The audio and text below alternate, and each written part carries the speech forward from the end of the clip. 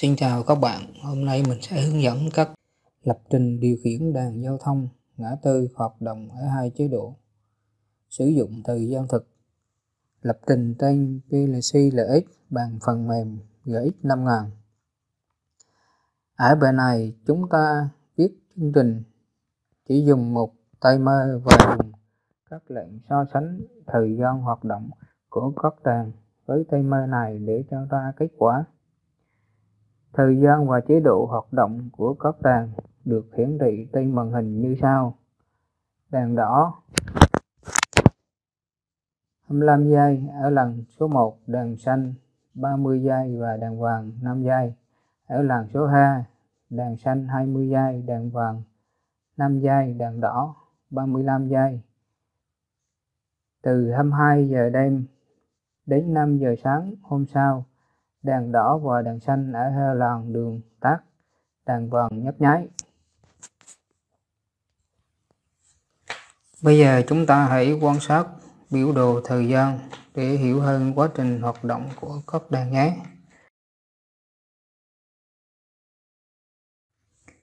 Khi đèn đỏ ở làn số 1 hoạt động thì đồng thời đèn xanh ở làn số 2 cũng hoạt động. Hết thời gian, đèn xanh ở làn 2 sẽ chuyển sang đèn vàng ở làn số 2. Lúc này đèn đỏ ở làn số 1 vẫn hoạt động bình thường. Khi đèn vàng ở làn số 2 tắt thì đèn đỏ ở làn số 1 cũng tắt và đèn đỏ ở làn số 2 hoạt động. Cùng lúc này thì đèn xanh ở làn số 1 cũng hoạt động. Khi hết thời gian, đèn xanh sẽ chuyển sang đèn vàng ở làn số 1.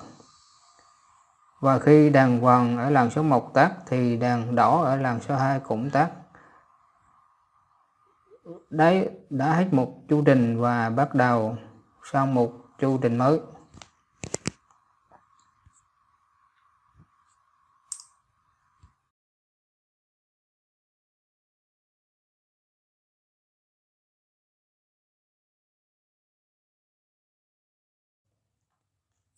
Bây giờ chúng ta bắt đầu vào để viết chương trình. Đầu tiên, chúng ta tạo chương trình mới và đặt tên cho tên file đó là đèn giao thông. Sau đó, chúng ta chọn vị trí để lưu file này. Ở đây là tôi chọn ổ A để lưu.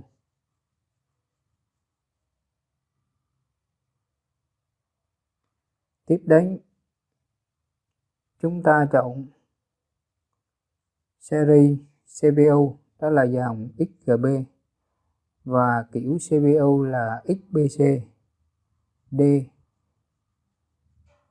XU sau đó chúng ta đặt tên cho chương trình này là đèn giao thông, viết liền không có dấu.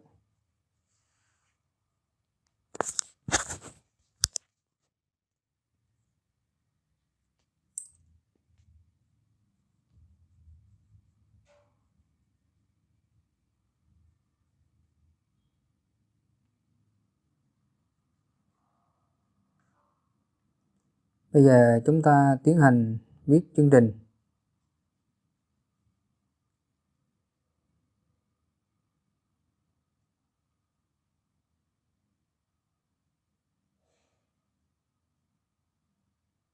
Đối với dòng PLC là X thì cuối mỗi chương trình là ta đều phải có hồng an. Chúng ta thực hiện như sau, bấm F10. À, menu xuất hiện và chúng ta nhập từ an vào.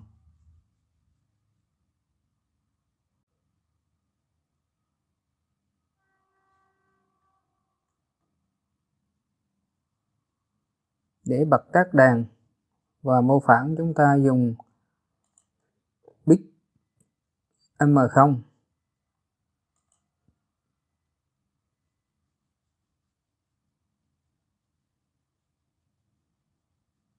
để gọi. Timer chúng ta nhấn F10 và sau đó là chọn TO ở đây ta dùng timer T0 ta nhập 600 có nghĩa là 60 giây. Đây là thời gian của tổng đèn đỏ, đèn xanh, đèn vàng. Ở làn số 1 và làm số 2 thì cũng tương tự như vậy. Sẽ dĩ ta nhập mà số 600 vì ở đây ta dùng timer T0 có à, giá trị là 100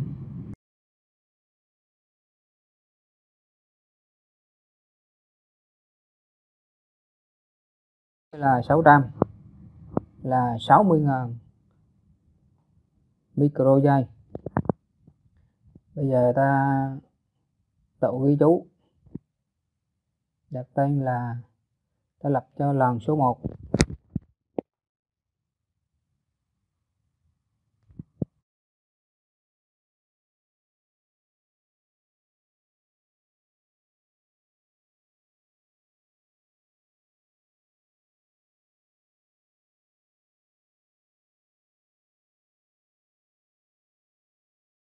sau đó chúng ta sử dụng lệnh so sánh để lập cho đèn xanh đèn đỏ ở làn số 1 điều kiện so sánh như sau.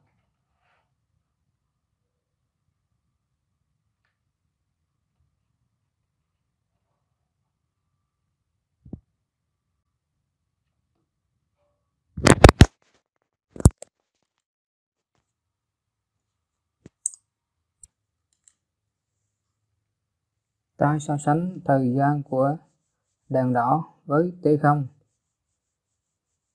T0 thì phải nhỏ hơn 250 tức là 25 giây của đèn đỏ. Nếu điều kiện này thỏa mãn, thì sẽ out ra tín hiệu ở đầu P0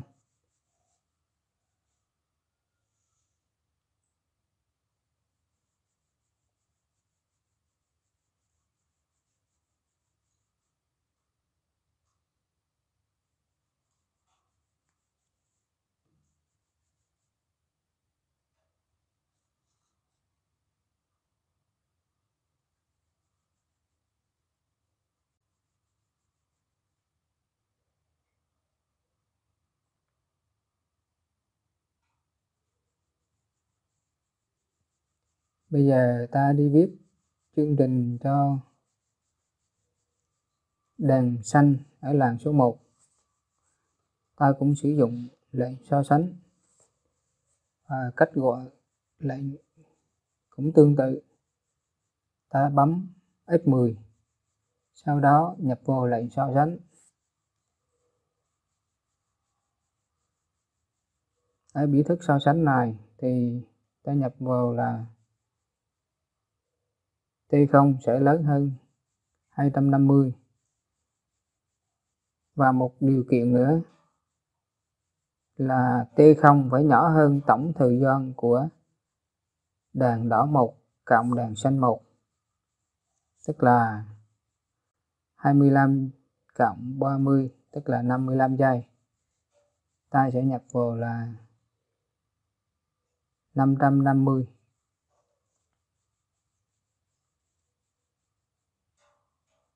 Nếu điều kiện này thỏa mãn, thì ta ao ra, ngõ ra P1.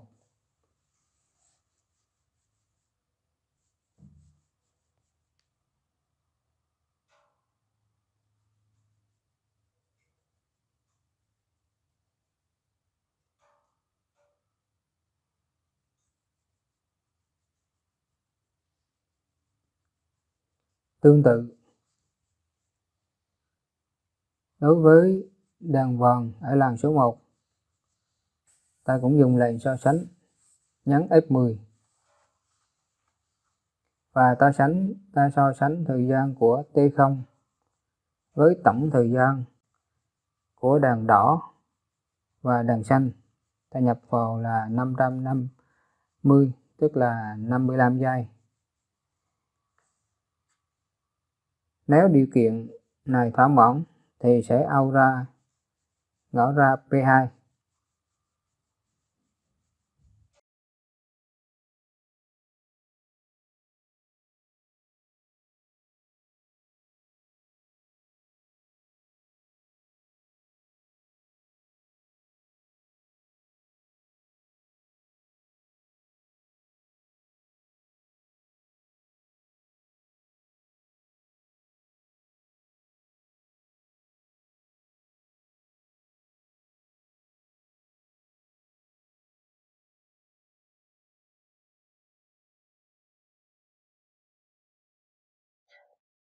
Bây giờ chúng ta tiến hành chạy một phỏng chương trình để kiểm tra hoạt động của các đàn.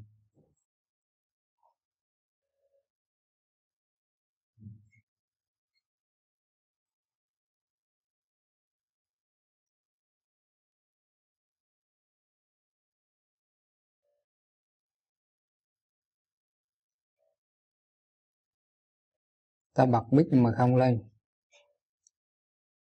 timer bắt đầu hoạt động và đàn đảo của chúng ta cũng hoạt động. Đến 25 giây thì đèn đỏ sẽ tắt.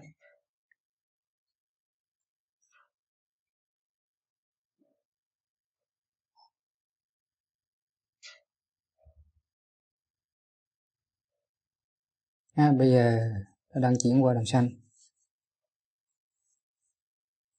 Và khi timer đếm đến 55 giây thì đèn xanh sẽ chuyển qua đèn vàng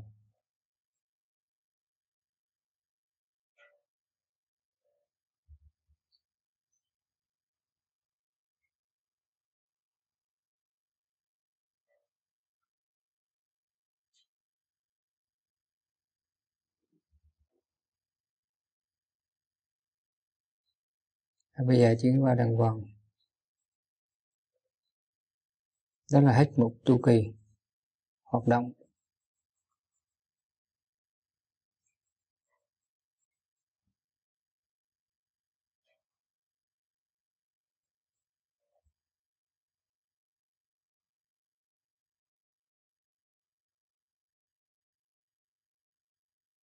Bây giờ chúng ta tiếp tục lập trình cho các đàn ở làm số 2 tạo ghi chú làm số 2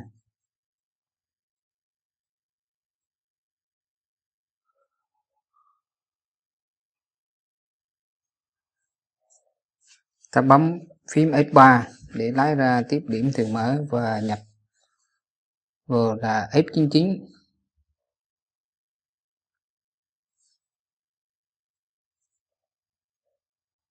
sau đó ta bấm F10 để nhập biểu thức so sánh.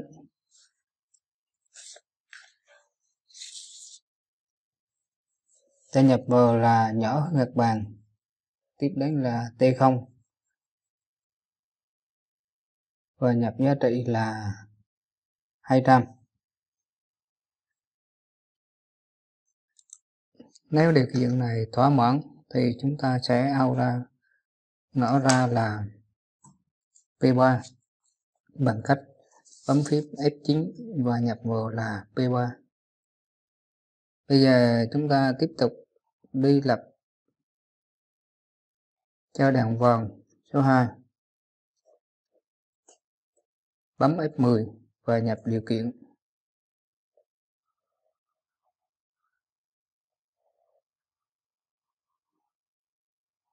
T0 lớn hơn 200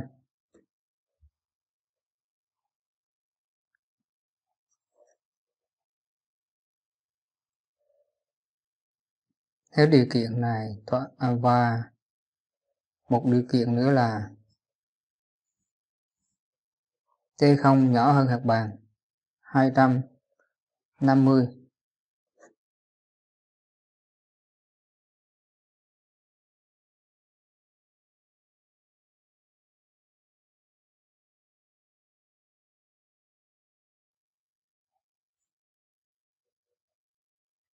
nếu điều kiện này thỏa mãn,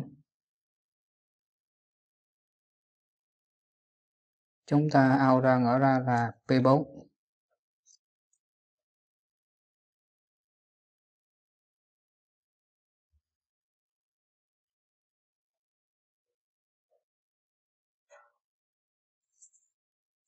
tiếp tục ta lập cho đàn, đó ở đàn số 2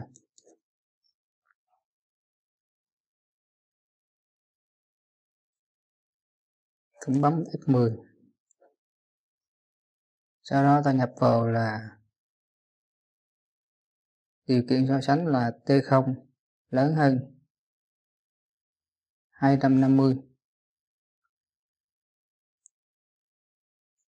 nếu điều kiện này thỏa mãn, thì chúng ta sẽ out ra đầu ra P5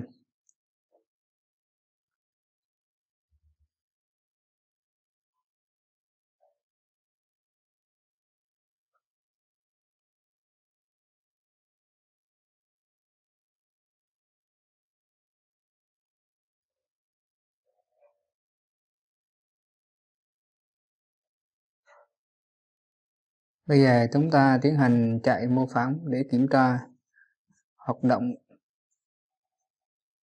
của các đàn.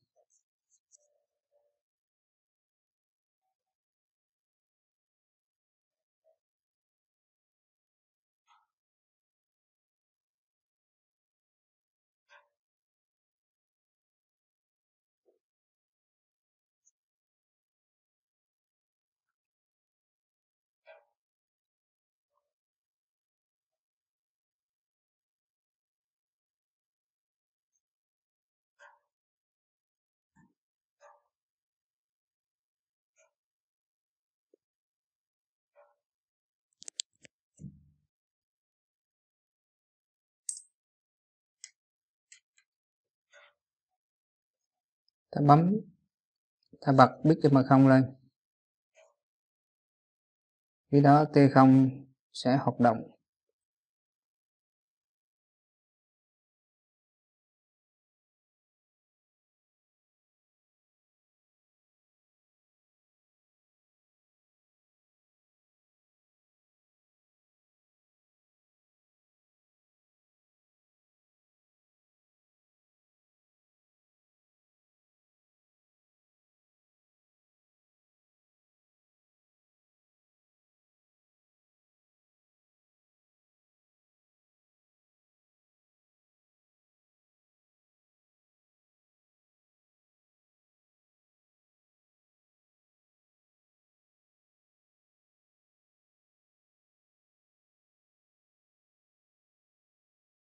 Đến hoạt động 55 giây thì sẽ chuyển qua đèn vàng ở làn số 1 và đèn đỏ ở làn số 2 vẫn tiếp tục hoạt động.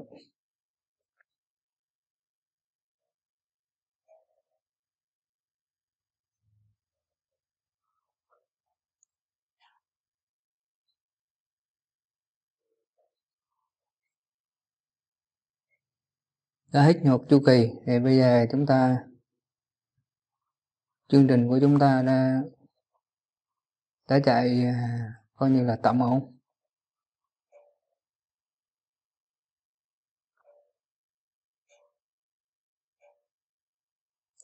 Để lặp lại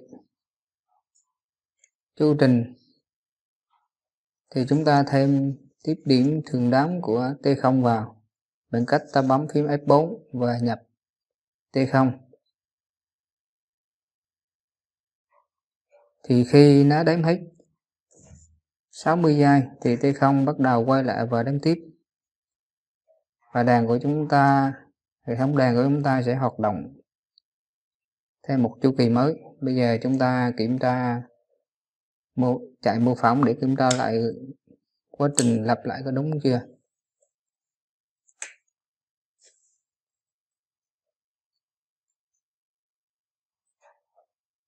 Bật bit cho không lên và timer bắt đầu hoạt động. Ta quan sát.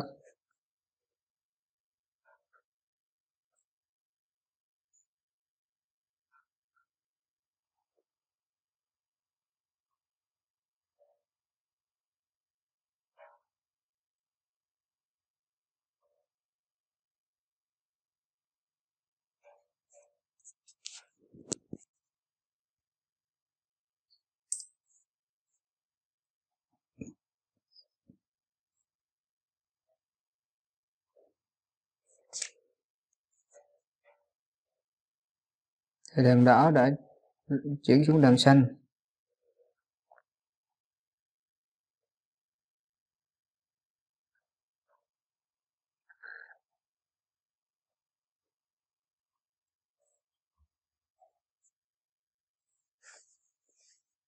Tiếp tục là chuyển đến đèn vàng.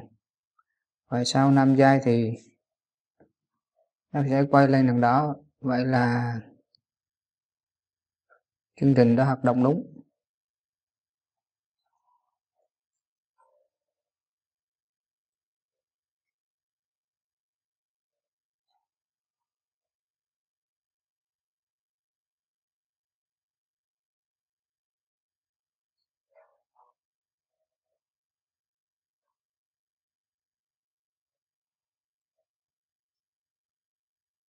Tao quan sát thêm một chu kỳ nữa để xem như thế nào.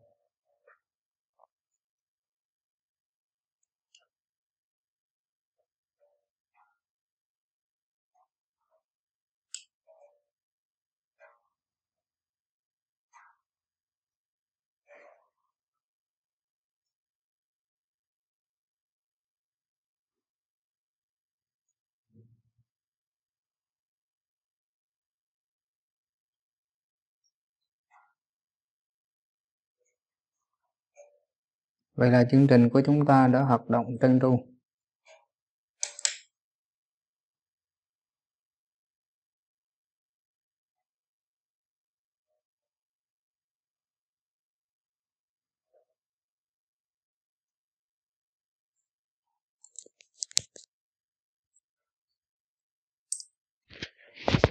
Ở đây nó đang còn một cái lỗi, đó là khi chúng ta bấm ta bật bích ở mờ không lên, thì timer chưa đếm thì đèn đỏ ta hoạt động. Bây giờ ta khắc phục cái ờ, lỗi đó bằng cách đưa tiếp điểm không vào. Ở đèn đỏ, nhánh đèn đỏ số 1 và nhánh đèn xanh số 2 bây giờ đã tiến hành mô phỏng lại thêm thử quá trình của chúng ta có đúng chưa?